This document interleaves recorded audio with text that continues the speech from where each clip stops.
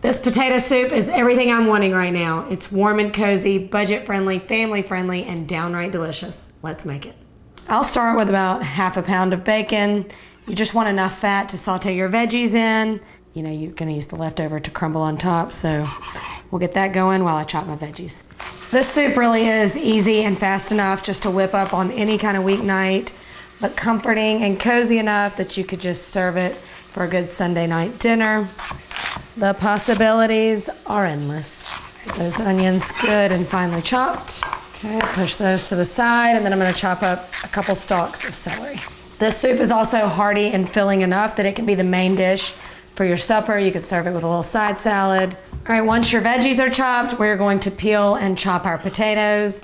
I'm using fresh raw potatoes, but if you wanna make this soup super quick for a weeknight meal, you could also use just some frozen pre-cubed potatoes.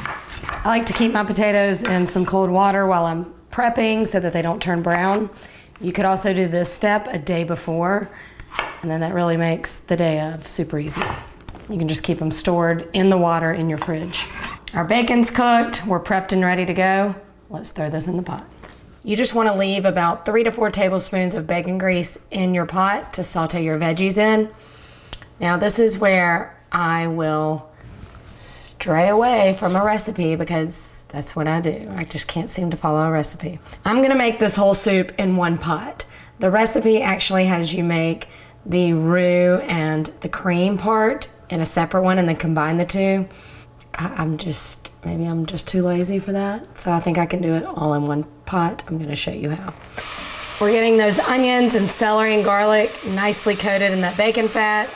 This is going to deliver the flavor throughout the whole soup. We're gonna cook this until the onions are really translucent and everything's soft. You can kind of help that along with a little salt at this point. All right, after several minutes, the veggies are nice and tender. I'm gonna go in with a couple tablespoons of butter.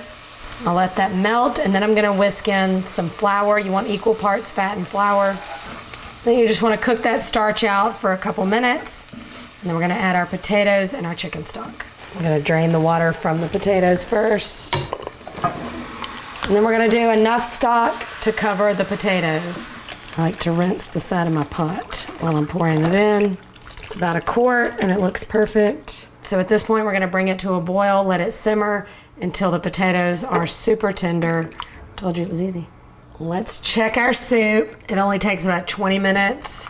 It's already like velvety, rich, creamy, and we haven't even added any cream yet, but we're going to. All right, so everything is pretty much done at this point. We have one final step. If you like it super chunky, then you're good to go here.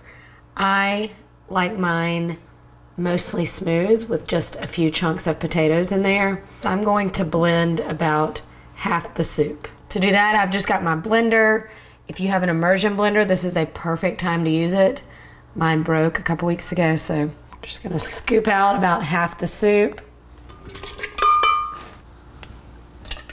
When you blend it, you wanna keep your blender top open so that the steam can escape. Otherwise, you're gonna have hot soup all over your face.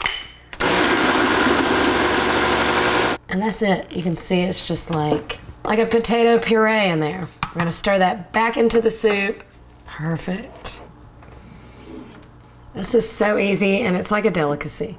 I'm gonna stir in some heavy cream.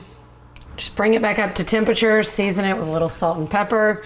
Right now this soup is really rich and it's got that I've been cooking all day kind of flavor. So you wanna kind of wake it up and brighten it up. So I'm gonna show you how I serve it up. You can just feel the love in this pot right here. Top it off with some cheese. I told you I like it like a baked potato. That bacon we cooked earlier, I think I was supposed to cook the bacon in with the soup. Told you I have a hard time following a recipe. Lots of chives and why not a little more pepper. It's been a while since I had a bite this perfect. Mmm, it's just like a warm sweater covering your body. Just promise me you'll make this, you won't regret it, and be sure and tag Allrecipes when you do. Also, let me know what other soups you're putting on this winter season. I'm a happy girl.